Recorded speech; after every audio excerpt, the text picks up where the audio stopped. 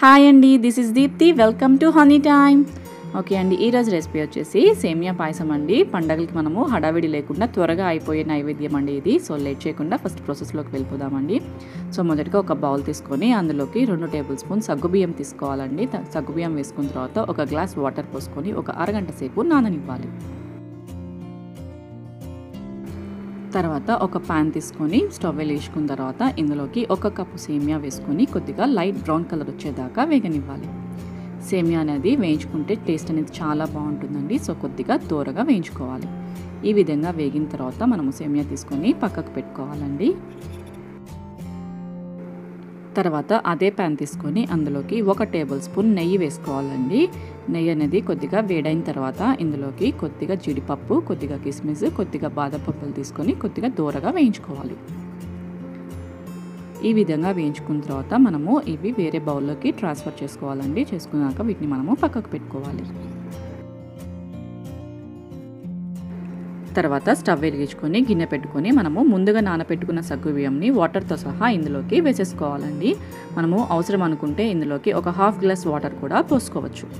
So water పోసుకున్న తర్వాత ఒక పది నిమిషాల పాటు సిమ్లో పెట్టేసి వీటిని మనము ఉడకనివ్వాలి.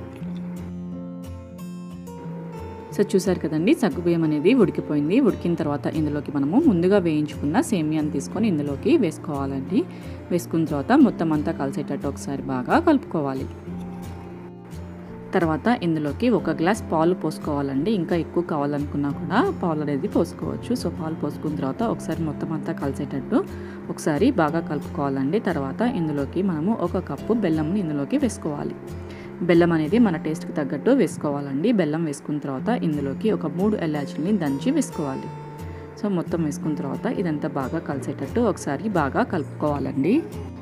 తర్వాత ఫ్లేమ్ అనేది సిమ్లో పెట్టేసి పదిహేను నుంచి ఇరవై నిమిషాల దాకా సేమియాని మనము ఉడకనివ్వాలి.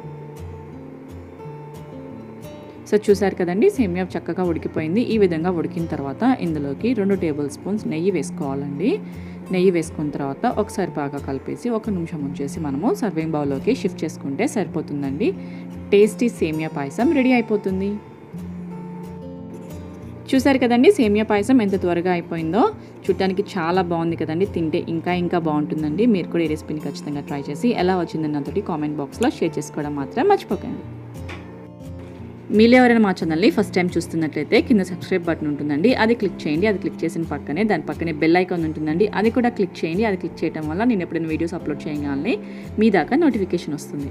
తర్వాత లైక్ చేయండి షేర్ చేయండి కమెంట్ చేయండి అండ్ సపోర్ట్ చేయండి. Thanks for watching. This is Dipti signing off.